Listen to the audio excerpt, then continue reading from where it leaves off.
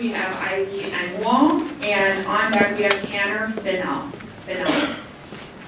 My name is Ivy Engwall. I'm a student here of communication and philosophy. I have lived in Stevens Point my almost my entire life. Um, I love this city with all my heart.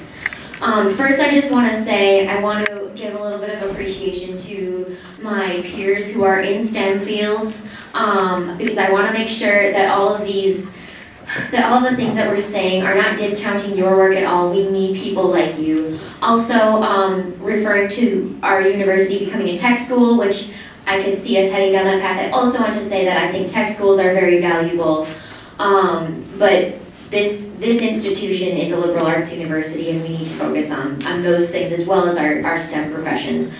Um, so I want to talk about how if the liberal arts core is so important, um, including to our STEM majors, that we really need to see the value of it in general.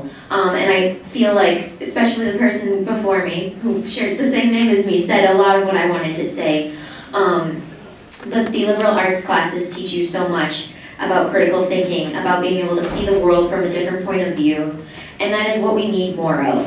And that does not does not mean that we won't be able to find a career somehow or somewhere. Um, I'm a, the general manager of Rogers Cinema as well, um, and I am a full-time student. And I just want to, I want to say like, I, the skills I have learned in philosophy as well as my communication um, have very much so benefited me in my job. Um, I lead a staff of about 40, 40 teenagers. Um, I have five assistant managers. Um, I'm, I know that I'm going to be okay in the world even though I'm majoring in philosophy.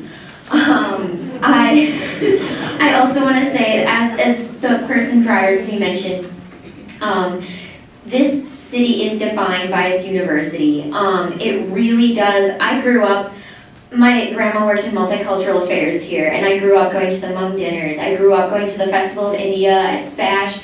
I, I grew up with all of these beautiful cult cultural things that are here because of the university. And if if, if Stevens Point um, is going to lose so much of this, I guess I just think about the Riverfront Arts Center and the Art Museum downtown and the new companies that sprout up here. These are all because of the university and its inspiration. And I would hate to see Stevens Point lose its beautiful, vibrant culture because of budget cuts. So I just, I plead to the administration that we can, we can find these cuts elsewhere. Uh, thank you very much very much, Ivy. So next we have Tanner Fennell, and on deck we have Dan Holland.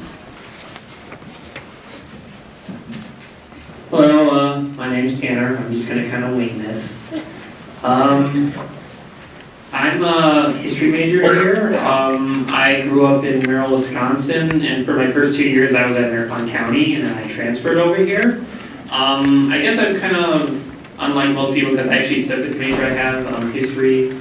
Uh, and I just kind of through, um, I think that also there are important jobs like um, STEM research, and um, my sister, she's actually going at the tech for sort of a job like that, but um, I just wanted to say that uh, throughout this uh, learning of the liberal arts, I was able to sort of, like a lot of people, develop my own kind of opinions and kind of realize that I am a very shy person, but I learned that you have to sometimes take risks and to enjoy the course and the job and kind of the future you want. And and sort of that's kind of helped me stand up for myself. And I've also learned that sometimes you gotta learn and from uh, mistakes and that's especially with history because of those who are repeat the past are kind of doing to repeat themselves. And I'm able to through this education I'm going to have I'm going to be able to go out into the world and I'm actually going to be debt free because I was able to go to Point and Marathon and actually and my education, I wouldn't have to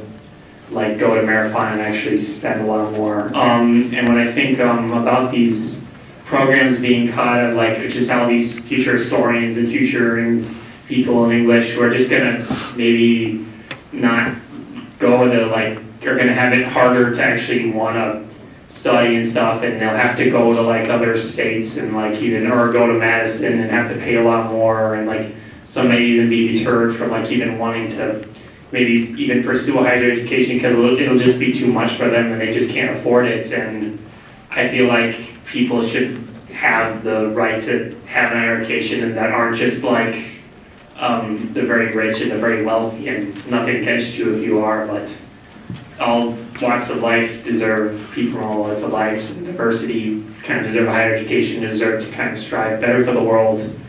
And I just don't want um, others to be kind of hindered by this and hindered by these supposed like um, cuts that they want to try. And that's uh, basically all I wanted to say. And I also believe it would just kind of hurt Wisconsin as well, just because a lot of these people like in English and philosophy and history, they would probably either maybe even consider going to like other states to like Minnesota or Michigan, even maybe kind of consider getting an education because if we focus on like direct things, that's just going to deter them away.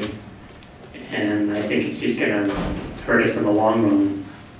Um, that's all I pretty much had to say. Uh, I just wanted everyone to thank you for listening to what I have to say. Thank you, Tanner.